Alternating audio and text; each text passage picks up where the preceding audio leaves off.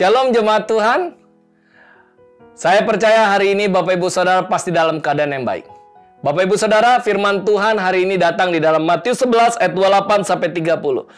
Seperti ini bunyinya, Marilah kepadaku semua yang letih, lesu, dan beruban berat. Aku akan memberikan kelegaan kepadamu.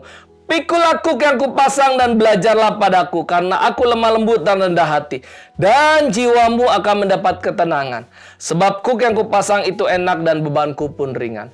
Bapak ibu saudara, hari ini kita mau sambut ibadah kita hari ini dengan hati yang lemah lembut dan rendah hati. Supaya apa? Supaya kuku kita yang letih lesu, kita disegarkan, kita diberi kelegaan. Mau Bapak Ibu Saudara? Mari kita siapkan hati untuk beribadah. Kita mau berdoa. Tuhan kami berdoa, kami siapkan hati kami untuk beribadah. Kami percaya Tuhan apa pun hari ini uh, yang ada Tuhan, apa pun firman-Mu, kami percaya itu akan mengubahkan siap kami. Hanya di dalam nama Yesus Tuhan. Amin. Shalom Bapak Ibu Saudara. Mari siapkan dirimu hari ini kita mau sama-sama datang. Kita mau sama-sama menyembah, beribadah kepada Tuhan. Mari hari ini berikan pujian terbaikmu bagi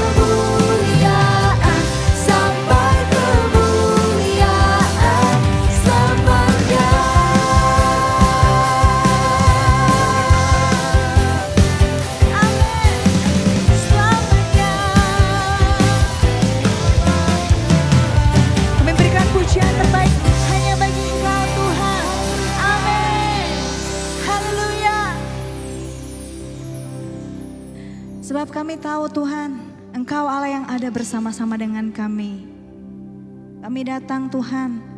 Saat ini kami mau bawa hidup kami. Kami bawa setiap penyembahan kami, setiap ucapan syukur kami Tuhan. Karena Engkau satu-satunya pribadi Tuhan yang mengasihi setiap hidup kami.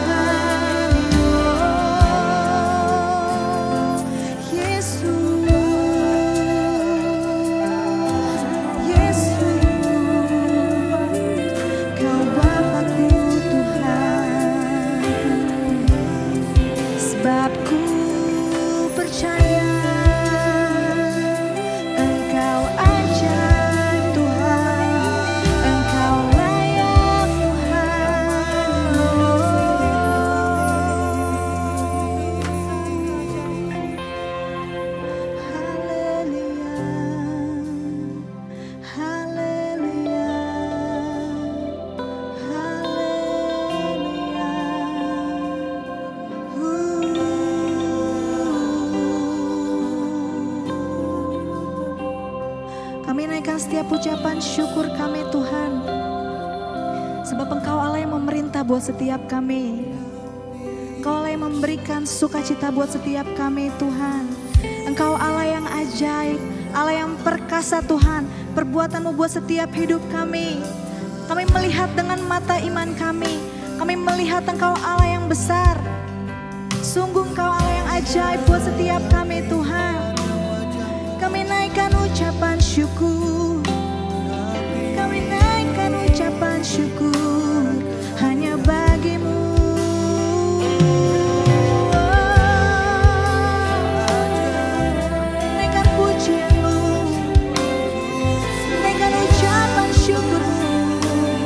Sebab dia Allah yang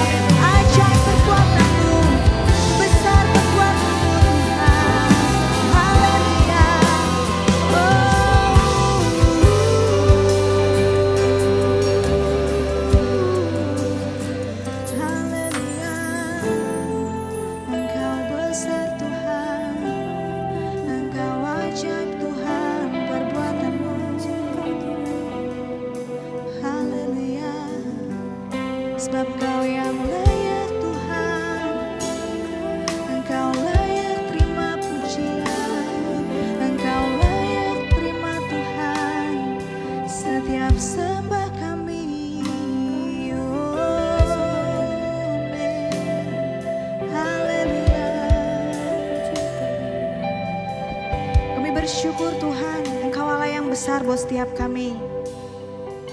Sebab hari ini Mazmur 66 berkata Pergilah dan lihatlah pekerjaan-pekerjaan Allah. Ia dahsyat dalam perbuatannya terhadap manusia. Ia mengubah laut menjadi tanah kering Dan orang-orang itu berjalan kaki menyeberangi sungai. Oleh sebab itu kita bersuka cita karena dia yang memerintah dengan perkasa untuk selama-lamanya. Hari ini kami percaya engkau Allah yang perkasa buat setiap kami. Engkau yang memberikan kemenangan buat setiap kami. Engkau yang memberikan janji-janjimu Tuhan buat setiap kami. Hari ini kami mau memandang kepada engkau. Kami memandang kepada Allah kami yang hidup. Yang memberikan sukacita. Yang memberikan damai sejahtera. Yang memberikan kemenangan buat setiap kami Tuhan.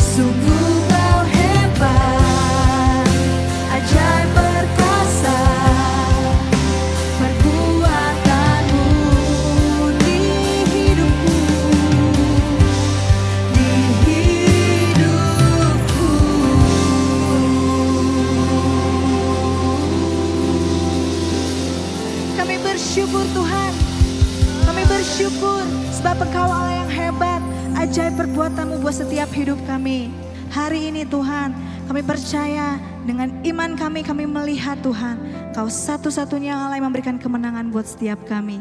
Terima kasih Tuhan, kami bersyukur di dalam satu nama, nama Yesus. Kami berdoa Tuhan. Amin. Shalom jemaat Abalov Palem yang dikasih Tuhan. Saya yakin anugerah serta kasih sayang Bapa Surgawi terus berlimpah-limpah di dalam kehidupan Anda. Berterima kasih juga buat kesempatan yang diberikan kepada saya hari ini. Boleh berbagi, sharing firman Tuhan buat Anda semua. Kita masih ada di bulan Februari, bulan di mana kita banyak belajar tentang kasih. Dan hari ini saya rindu buat kita semua boleh mengalami satu terobosan baru tentunya ya, pemahaman kita tentang kasih Bapak yang luar biasa. Nah, saya mau ajak setiap saudara lihat ya di dalam kitab Markus pasal yang ke-10 ayat yang ke-13 sampai 16. Lalu orang membawa anak-anak kecil kepada Yesus supaya ia menjamah mereka. Akan tetapi murid-muridnya memarahi orang-orang itu. Ketika Yesus melihat hal itu, ia marah dan berkata kepada mereka, Biarkan anak-anak itu datang kepadaku, jangan menghalang-halangi mereka, sebab orang-orang yang seperti itulah yang empunya kerajaan Allah. Aku berkata kepadamu, sesungguhnya barang siapa tidak menyambut kerajaan Allah seperti seorang anak kecil, ia tidak akan masuk ke dalamnya. Lalu ia memeluk anak-anak itu, dan sambil meletakkan tangannya atas mereka, ia memberkati mereka. Bapak Ibu, saudara yang dikasih Tuhan, lewat bacaan firman Tuhan yang barusan kita lihat tadi, ada tiga hal penting yang kita perlu ketahui, saudaraku, tentang peran Bapak. Hal yang pertama, kalau saudara lihat di ayat yang ke-13, lalu orang membawa anak-anak kecil kepada Yesus. Saudara garis bawahi kata membawa di sini, ya kata kerjanya. Yang pertama, membawa. Apa sih yang dimaksud? Atau kenapa sih kok membawa begitu penting? Saudara, Bapak itu punya sebuah kerinduan yaitu dalam hal hubungan. Orang membawa anak-anak tujuannya supaya dia berjumpa dengan Yesus supaya Yesus boleh menjamah anak-anak. Bagaimana dengan hidup kita hari ini? Kalau Anda yang mendengarkan khotbah hari ini, Anda adalah seorang ayah, apakah Anda sudah berfungsi untuk membawa anak-anakmu dijamah oleh Yesus. Kalau Anda sebagai anak-anak yang mendengarkan khotbah ini, apakah Anda sudah merasa orang tua Anda dalam hal ini adalah papa saudara, sudah memberikan satu izin yang luas supaya Anda boleh dijamah Tuhan lewat persekutuan, lewat ibadah, baik on-site maupun online. Apakah saudara diberikan kesempatan untuk mengalami jamahan Tuhan? Nah Bapak Ibu, Saudara yang dikasih Tuhan, kita sering kali lupa bahwa anak-anak itu perlu loh merasakan jamahan Tuhan. Saya ingin mengajak Anda juga boleh membuka di dalam Mazmur pasal yang ke-14 ayat yang kedua. Tuhan memandang ke bawah dari surga kepada anak-anak manusia untuk melihat apakah ada yang berakal budi dan yang mencari Allah. Nah ini dia. Saudara kata membawa yang dimaksud di dalam konteks Markus tadi, saudara, itu kalau dilihat di dalam Mazmur 14 tadi adalah apakah kita mau mengajak ataukah kita rindu supaya anak-anak boleh mencari Allah. Buat Anda sendiri bagaimana? Apakah Anda punya sebuah kerinduan untuk mencari Tuhan? Saudara, firman ini jelas sekali bahwa kita harus mengizinkan anak-anak kita mengalami jamahan Tuhan. Kata mencari Tuhan di dalam Mazmur 14 tadi, dalam bahasa aslinya ditulis daras. Itu punya banyak arti. Saya ungkapkan ya, salah satu artinya adalah tentang frequent. Frequent artinya sering. Seberapa sering sih Anda membawa anak-anak saudara, membawa keluarga saudara ke dalam Tuhan? Membawa supaya mereka bisa mengalami jamahan Tuhan. Mencari Allah juga artinya mengikut ya follow. Juga mencari ya di situ ya seeking. Bertanya tentang Tuhan. Nah saudara apakah kita membiasakan adanya sebuah budaya di dalam rumah itu untuk berbicara tentang Kristus? Berbicara tentang Yesus berbicara tentang kebesaran Tuhan, berbicara tentang perbuatan-perbuatan yang Tuhan lakukan. Apa sih yang kita obrolin hari ini di rumah? Apa yang kita ceritakan hari ini di rumah? Saya bersama dengan keluarga kami punya sebuah kebiasaan setiap hari kami harus cerita tentang pengalaman kita, tentang perjumpaan kita sama Tuhan lewat saat teduh. Ya, jadi ini seru banget nih. Jadi kita bisa sharing gitu ya. Istri saya sharing gitu kan, anak saya juga sharing. Ya kadang-kadang di kamar tidur gitu kan. Pas dia udah lagi break gitu kan, lagi break belajarnya, belajar online ya uh, saya suka tanya sesuatu kepada dia. Nah, kamu hari ini waktu baca firman Tuhan dapat apa? Kamu sharing apa? Kamu ceritain apa sama teman-teman uh, kompaknya kamu gitu kan? Nah, jadi kita cerita, bertanya tentang Tuhan dan kita sering kali berdiskusi tentang Tuhan. Termasuk juga waktu saya dapat tugas misalnya harus khotbah. Ada satu topik khotbah yang harus saya sampaikan. Nah, itu biasanya tuh saya ajak mereka diskusi tuh sama-sama tuh. Nah ini saudara, ini yang dimaksud dengan mencari Allah, bertanya, ngobrolin, cerita, ya, berdiskusi tentang Tuhan. Ada satu hal juga yang menarik nih, kata daras itu juga artinya worship, menyembah Tuhan. Lalu ada juga um, resort. Kata resort di sini tuh artinya gini, tinggal di dalam.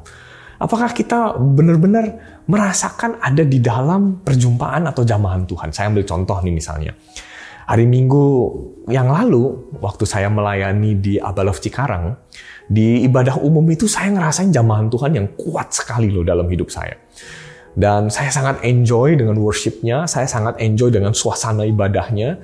Dan ketika saya pulang, saya bercerita sama istri saya, bercerita sama saya, dan saya bilang sama mereka, aku tuh pengen deh gitu terus ada di dalam ibadah itu, di dalam suasana ibadah itu. Kenapa? Karena aku ngerasain satu jamahan Tuhan yang luar biasa loh di momen ibadah itu gitu. Nah, bagaimana dengan saudara? Apakah ketika saudara lagi ngalamin sebuah jamahan Tuhan, saudara enggan untuk meninggalkannya dan keengganan itulah yang akhirnya saudara bagikan dan saudara ceritakan sama keluarga saudara. Ini loh yang dinamakan mencari Allah. Ini loh yang dinamakan membawa Kristus ke dalam rumah kita, saudara. Ya, menarik ya, saudara ya. Sebenarnya daras masih punya banyak arti yang lainnya, termasuk konsultasi, bahkan menginvestigasi. Apa sih maksudnya menginvestigasi firman Tuhan? Maksudnya gini loh, kita berusaha ya untuk mengupas firman Tuhan lebih dalam. Mulai bertanya, mulai mencari tahu ya, Babel komentarnya ngomongin apa sih gitu kan. Walaupun mungkin kita bilang, kita ini kan bukan hamba Tuhan, kita ini kan bukan pendeta, kita ini kan bukan um, apa guru sekolah minggu atau kita ini kan bukan orang-orang um, yang terlibat aktif gitu ya di dalam menyampaikan firman. Kenapa mesti investigate? No, investigate yang dimaksud di sini adalah termasuk merenungkan loh firman Tuhan. Ya, jadi kita menggali lebih dalam tentang firman Tuhan. Ya, itu prinsip pertama. Jadi jangan lupa ya Orang-orang membawa anak-anak itu kepada Yesus supaya ia menjamah dia. Ini berbicara tentang apakah kita sebagai orang tua, khususnya sebagai ayah, kita sudah memberikan sebuah kesempatan kepada anak-anak kita untuk berjumpa dengan Yesus. Ataukah malah kita menghalang-halangi anak-anak kita untuk datang kepada Tuhan. Ya, dan saya berharap jemaat Tuhan di Abalov Palong ya terus mengizinkan anak-anak boleh berinteraksi, boleh ngalami jamahan Tuhan lebih lagi bukan hanya lewat ibadah yang onsite tetapi juga ibadah online seperti ini ya. Nah, berikutnya Bapak Ibu, mari kita lanjutkan. Di ayat 14 dikatakan ketika Yesus melihat hal itu, ia marah dan berkata kepada mereka, "Biarkan anak-anak itu datang kepadaku, jangan menghalang-halangi mereka, sebab orang-orang yang seperti itulah yang empunya kerajaan Allah." Saya akan membahas poin yang kedua tentang empunya kerajaan Allah. Tetapi sebelum itu, ada kalimat yang cukup menarik nih buat saya. Jangan menghalang-halangi mereka. Coba kita evaluasi deh diri kita. Kita nih sebagai orang tua, apakah kita justru malah menghalang-halangi anak-anak kita untuk mengalami zaman Tuhan? Nah, apa sih bentuknya kita menghalang-halangi? Kita bilang, sudahlah nak, kalau kamu komsel tuh jangan kelamaan dong, gitu. Masa komselnya lama banget sih? Padahal mereka tuh lagi enjoy banget ya bersama-sama dengan teman-temannya untuk menikmati komselnya mereka. Saudara, jangan jadi orang yang menghalang-halangi anak-anak dan keluarga untuk berjumpa dengan Tuhan. Anda sebagai suami ya jangan menghalang-halangi istri untuk istrimu mengalami zaman Tuhan. Dan sebaliknya juga sama, istri Anda juga jangan dong menghalang-halangi suami untuk datang kepada Tuhan dan mengalami jamahan Tuhan. Mungkin kita secara nggak langsung nggak sadar sih, apakah kita ini udah menghalang-halangi keluarga kita atau enggak ya datang kepada Tuhan ya. Itu bisa aja kita uh, terlihat lewat, eh kita kan ada kerjaan ini, kita kan ada tugas ini gitu kan. Dan akhirnya orang tidak lagi mendengarkan firman Tuhan, nggak lagi mau mendengarkan ibadah, tidak lagi mau menyimak kebenaran firman Tuhan yang disampaikan. Mari saudara kita evaluasi, apakah kita udah jadi penghalang atau tidak. Saya berharap ya, kita jangan jadi penghalang. Oke. Okay? Nah, di poin yang kedua, di situ dikatakan empunya kerajaan Allah. Saya ya, kalau dengar kata empu ya, yang terlintas di kepala saya nih pertama kali, itu kayak pelajaran SD, saudara. Ya, saya dulu ingat ya di masa-masa saya SD itu empu itu yang nempel di kepala saya tuh adalah empu tantular, empu gandring, gitu kayak pelajaran sejarah gitu loh, saudara. Ya.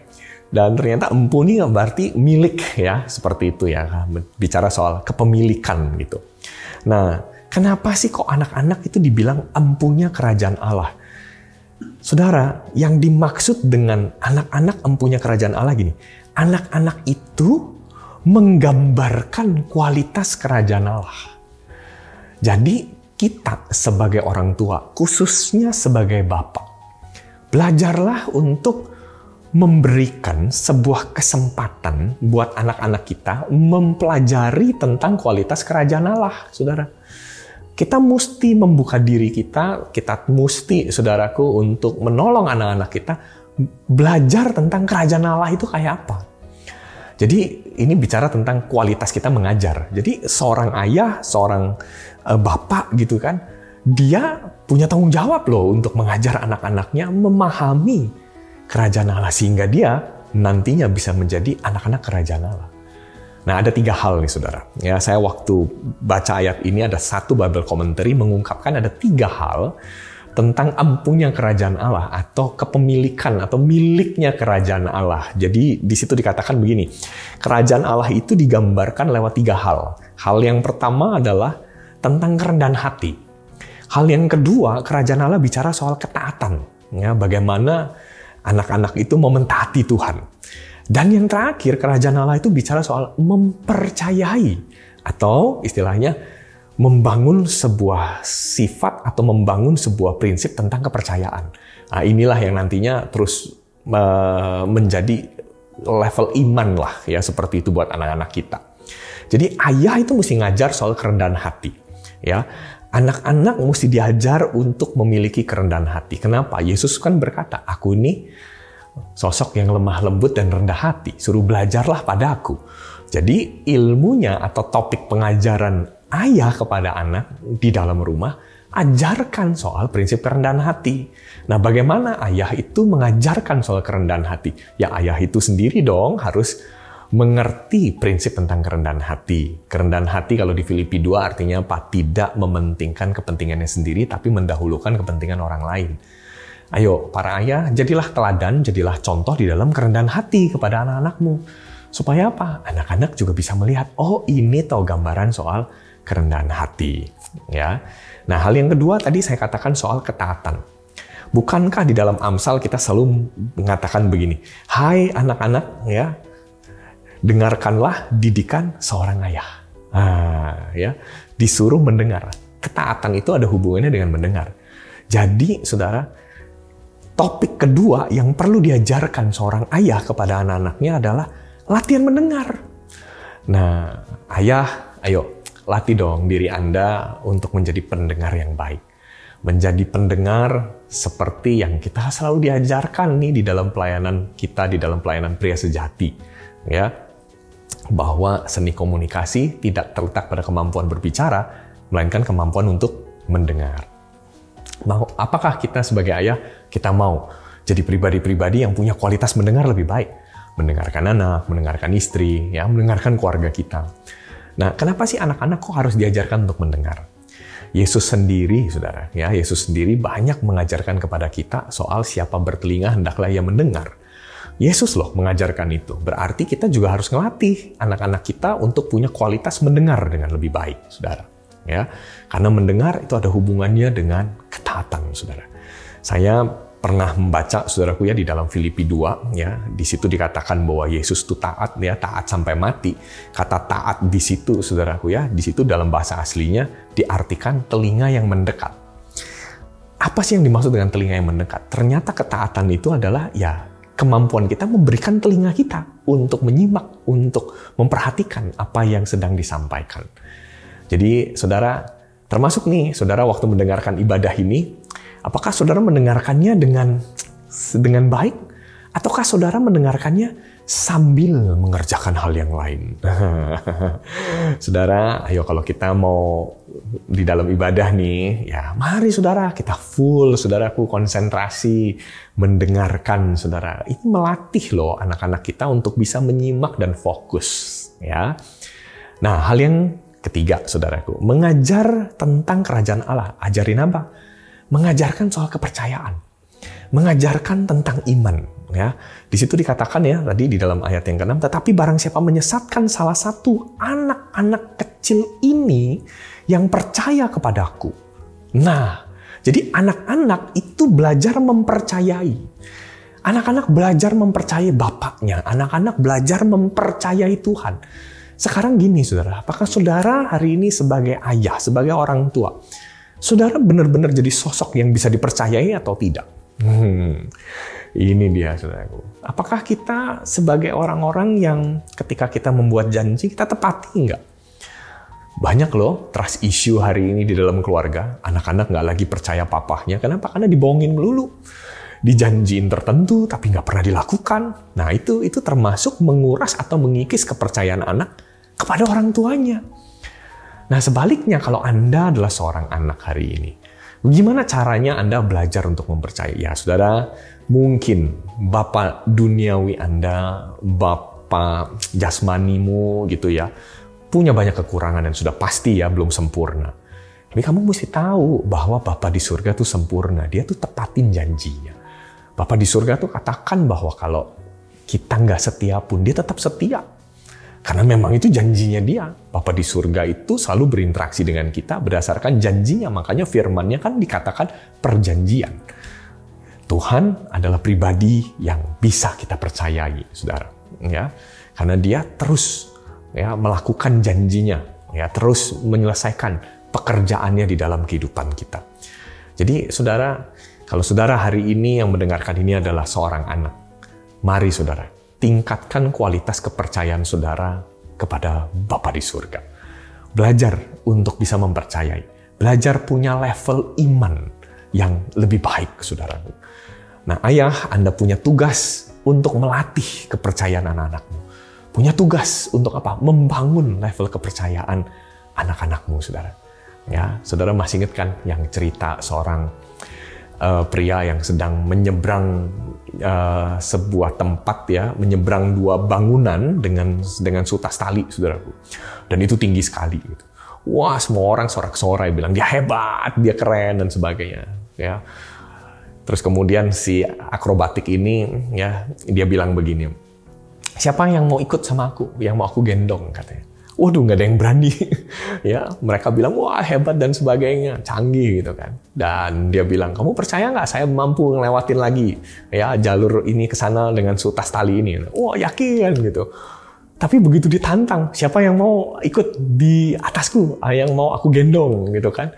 Nggak ada yang berani. Tiba-tiba ada satu anak yang bilang aku berani. Dan anak ini akhirnya ada di pundaknya si pria ini dan akhirnya berhasil menyeberang. Wih, semua orang sorak-sorai. Dan saudara tahu kan cerita ini kan, nah, ternyata bahwa anak itu adalah anak kandungnya sendiri.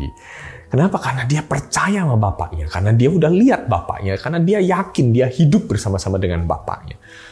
Jadi saudara, kepercayaan juga punya pesan yang sangat penting hari ini, yaitu apa saudara? Saudara, kepercayaan itu muncul ketika saudara memberikan kehadiran. Saya mau tegur nih ya, setiap ayah hari ini yang tidak lagi mau memberikan kehadiran kepada anak-anaknya. Anda harus hadir. Hadir artinya bukan hadir secara fisik, Tetapi Anda harus hadir memberikan perhatian, mengetahui apa yang terjadi dalam kehidupan anak-anakmu, saudara. Ya, kenapa? Kepercayaan bisa muncul ketika saudara hadir di sana. Kehadiranmu, ya, terus kemudian obrolan-obrolanmu kepada anak-anakmu itu meningkatkan kepercayaan anak-anakmu ke dalam hidupmu. Jadi mau anak-anakmu percaya kepadamu, ayo jangan sia-siakan waktu yang ada berikan kehadiranmu kepada mereka. Hal yang terakhir di dalam Markus pasal yang ke-10 ayat yang ke-15, aku berkata kepadamu sesungguhnya barang siapa tidak menyambut kerajaan Allah seperti seorang anak kecil, ia tidak akan masuk ke dalamnya. Lalu ia memeluk anak-anak itu dan sambil meletakkan tangannya atas mereka, ia memberkati mereka. Poin pertama tadi, saudara masih ingat? Kata kerjanya apa? Membawa. Poin yang kedua tadi, empunya kerajaan Allah bicara soal apa? Mengajar atau mendidik anak-anak. Poin yang terakhir adalah tentang memberkati. Ayah, Anda punya tugas untuk memberkati. Loh, Pak, kok sepanjang khotbah ini isinya tentang ayah aja semua? Loh, memang kita sedang belajar tentang Bapak ini adalah gambaran yang Bapa di surga ingin berikan nih kepada kita bahwa dia rindu menjamah kita, ya, dia rindu ada hubungan dengan kita, ya, itu poin yang pertama tadi. Yang poin yang kedua adalah empunya kerajaan, dia rindu untuk mendidik kita, mengajar kita, ya, lewat kepercayaan, terus kemudian tadi lewat uh, kerendahan hati, terus kemudian lewat ketaatan, ya. Nah, yang ketiga, saudara, saudara nggak boleh lupa bahwa Bapa di surga rindu memberikan berkatnya kepada kita. Makanya dikatakan ia memberkati mereka. Nah saudara, prinsip ini kita nggak boleh lupakan. Ayah Anda harus melepaskan berkat kepada anak-anakmu. Di perjanjian lama kita banyak melihat ya kisah-kisah bagaimana anak-anak itu merindukan berkat dari sang Bapa. Ya, dan itu menolong masa depan anak-anak itu. Saudara mesti paham, ini nggak main-main, saudaraku ya. Setiap pribadi, setiap Anda khususnya seorang ayah, Anda punya kuasa loh yang Tuhan titipkan dalam kehidupanmu. Lepaskan berkat itu buat hidup anak-anakmu, saudara. Iya, Anda harus lepaskan itu. Kalimatnya berbunyi, ia memeluk anak-anak itu sambil meletakkan tangannya atas mereka. Ia memberkati mereka. Jadi saudaraku di dalam konteks memberkati di sini ada tindakan jadi bukan hanya sekedar ucapan, tindakannya apa? Meluk. Saudara, memeluk itu gambaran apa sih? Memeluk itu tuh memberikan sebuah rasa aman loh kepada hidup anak-anak kita loh, saudara. Ayo, saudara, berapa banyak kita hari ini sudah meniadakan pelukan? Mungkin saudara bilang, aduh pak, habis gimana ya? Dia lagi positif, lagi nggak bisa peluk. Tapi begitu dia negatif, saudara peluk nggak? Ayo saudara, Ambil saudaraku kesempatan. Kalau saudara hari ini sudah diberikan kesehatan ya dan saudara semuanya baik-baik saja, saudara ayo peluk keluargamu ya. Ayo saling memeluk ya. Terus kemudian Anda para istri ya, ibu-ibu sekalian ya, biarkan khotbah ini atau pesan ini mengingatkan dan tugas Anda adalah mengingatkan setiap pria yang ada di sekitar Anda untuk bertindak, untuk melakukan apa yang firman Tuhan katakan ini ya seperti itu. Ya peran ini harus dilakukan. Ayo saudaraku. Ya peluk saudara. Ya belajar untuk memeluk. Kenapa? Karena pelukan itu saudaraku itu bisa melepaskan sesuatu yang dahsyat di dalam kehidupan seseorang. Saya punya kebiasaan ya di rumah ya. Itu setiap hari ya sini peluk peluk. Ya kita bertiga peluk erat gitu. Ih, rasanya tuh seneng banget tau nggak saudara? Ya pelukan itu tuh bener-bener aduh beda banget saudara. Nah, tapi saya juga banyak menemukan ada anak-anak yang geli katanya kalau dipeluk sama papahnya. Tahu nggak kenapa itu saudara? Ya karena papahnya nggak pernah membudayakan atau nggak pernah membiasakan ya bahwa pelukan itu adalah bagian dari kehidupan sebuah keluarga. Ya, nah tentu itu harus ada yang dibereskan, saudara. Ya, karena pada dasarnya orang senang dipeluk, saudara. Ya, jadi ayo prinsip di sini dikatakan ia memeluk anak-anak itu tuh bicara tentang apa, saudara? itu berbicara tentang acceptance, bicara tentang penerimaan. Bahasa Inggrisnya dikatakan embrace, ya kan? Hold someone in your arms katanya. Ya, itu memeluk ya. Memegang orang itu di dalam dekapan kita sebagai sebuah ekspresi tentang kasih, ya. Accept di situ, ya. Siap menerima. Ingat prinsip Bapak yang kita nggak pernah boleh lupa adalah Bapak memberikan penerimaan. Saudara masih ingat kisah tentang anak yang hilang? Bagaimana sosok Bapak itu memberikan penerimaan sama anak ini. Ya, luar biasa ya saudara ya. Jadi sekali lagi saudaraku, memeluk adalah bagian dari penerimaan, saudara. Hal yang berikutnya, meletakkan tangannya atas mereka, ya. Bahasa aslinya ditulis di temi, arti, artinya too late, ya. Too late itu artinya meletakkan, ya, lay down, ya. Jadi kayak menempatkan gitu ya. Ke, uh, tangannya di atas kepala mereka. Nah, saya yakin saudaraku kalimat meletakkan tangannya ini bicara tentang memberikan otoritas, saudaraku.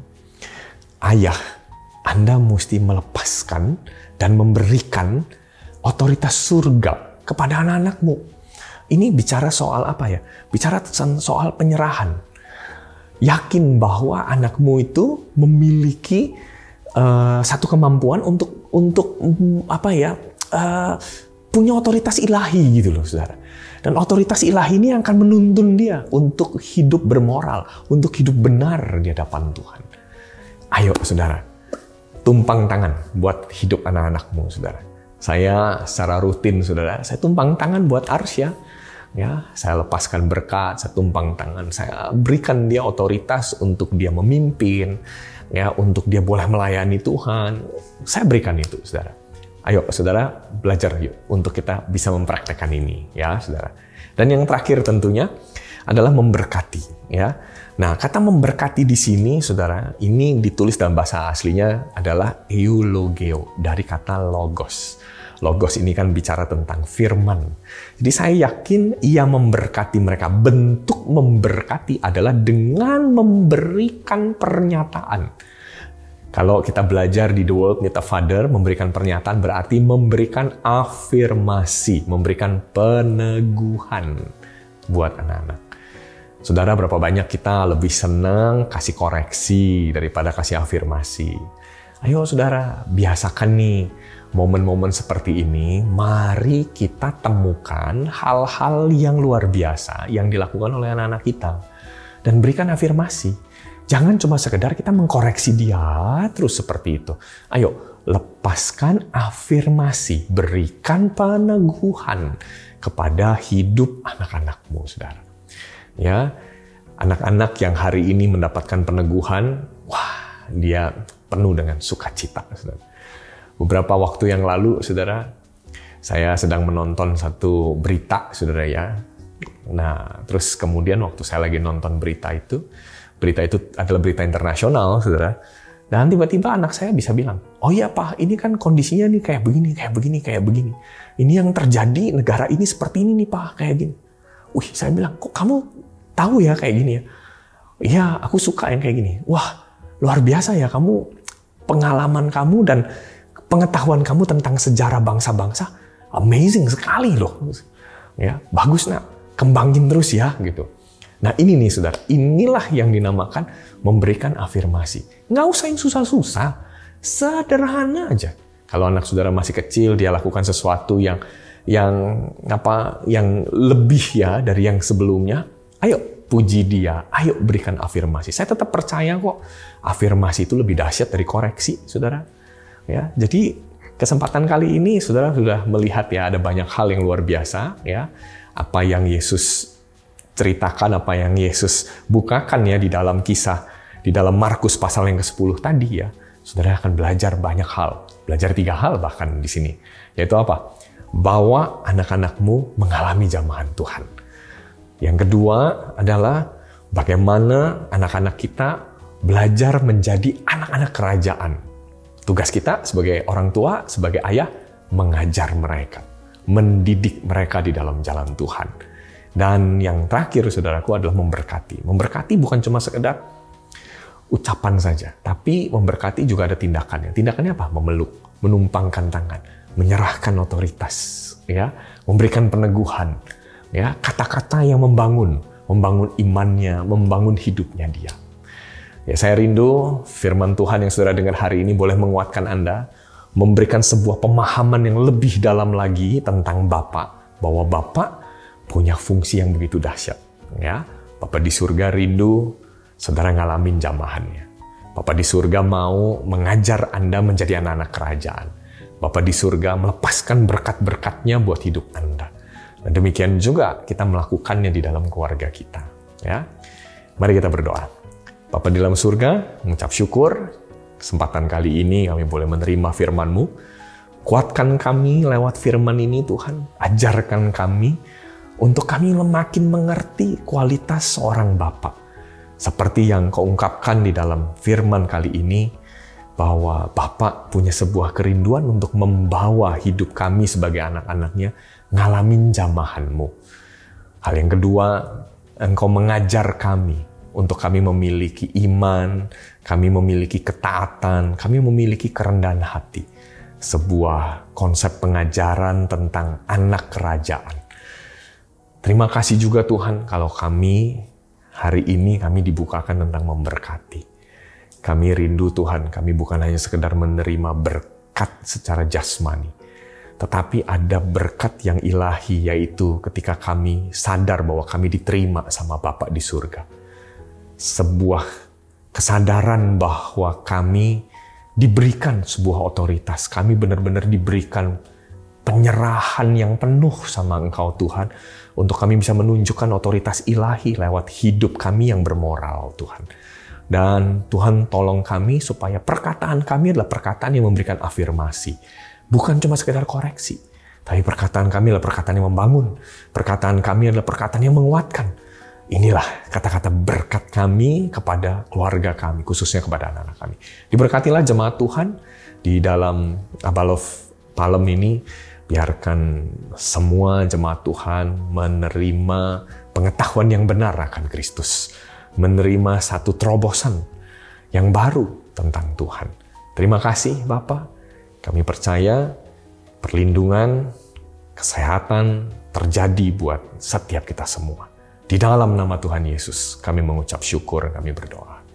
Amin. Tuhan Yesus memberkati. Wah, hari ini saya percaya Bapak Ibu Saudara pasti sudah mendapat kelegaan. Bapak Ibu Saudara, saya percaya firman Tuhan hari ini menusuk hati kita amat dalam. Bapak Ibu Saudara, kita mau akhiri ibadah kita. Siap? Mari, angkat kedua belah tanganmu. Terimalah berkat hari ini. Dari Allah Bapa, cinta kasih dari Tuhan Yesus Kristus, dan persekutuan yang indah bersama Roh Kudus yang menyertai hidupmu dari hari ke hari. Hanya di dalam nama Yesus Tuhan. Amin.